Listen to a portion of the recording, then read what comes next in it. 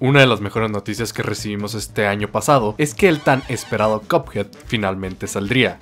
Y dicho y hecho, llegó el 29 de septiembre y ya lo teníamos en nuestras manos. Una bella experiencia de arte, música y carisma que rápidamente capturó el corazón de millones. No me voy a poner a hablar del increíble arte, que es un homenaje constante a las caricaturas de antaño como los primeros cortos de los Looney Tunes o Betty Bob. Tampoco quiero hablar de su increíble música llena de vida y alegría que sirve para hacerte sentir cada batalla como un verdadero corto animado. Siento que ese es un tema del que se ha hablado muchísimo y otras personas lo han explicado de una mejor manera que yo.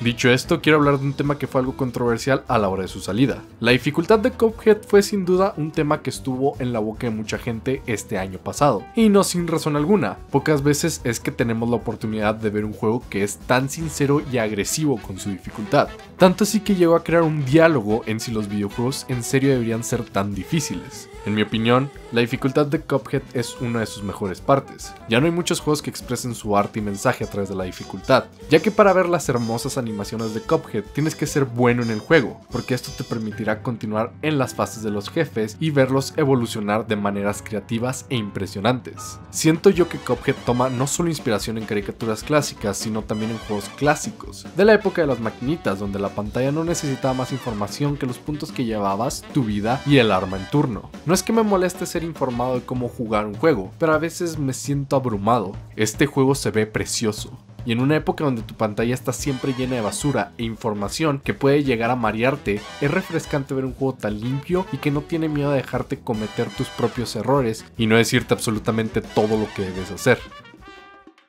La dificultad es un concepto difícil de lograr. Hazlo mal y los juegos se empiezan a sentir como una tarea en lugar de algo divertido. Ignóralos por completo y algunos juegos se pueden sentir vacíos, sin alma. Y no me voy a sentar aquí a decir que Cuphead no tiene momentos que se sienten baratos y artificiales, como ese pinche dragón. Pero en general, el juego logra tener ese perfecto balance de probar tus reflejos y de hacerte sentir como que cada error es completamente tuyo.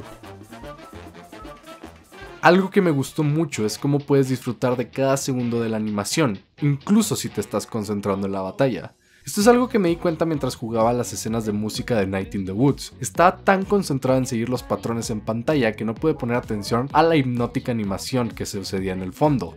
Y pasa mucho en el medio, que el juego crea escenas muy impresionantes que por desgracia terminamos ignorando por estar concentrados en la batalla. La naturaleza de Cuphead te obliga a ver las animaciones de los jefes, ya que es la única forma de predecir y esquivar sus ataques, y así lograr llegar al final de la pelea. Es simplemente increíble la forma en la que lograron combinar la dificultad de su juego junto con el atractivo principal, que es la animación de una manera tan natural y que se siente tan bien de superar, ya que derrotar a cada uno de estos jefes no es solo un espectáculo visual, también es un momento de superación personal que te hace sentir euforia pura, cuando finalmente logras ganarle al puto dragón.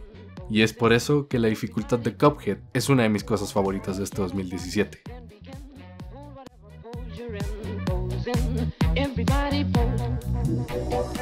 Everybody, everybody, everybody then dance. Everybody, everybody, everybody then dance. Everybody, everybody, everybody then dance. Everybody, everybody.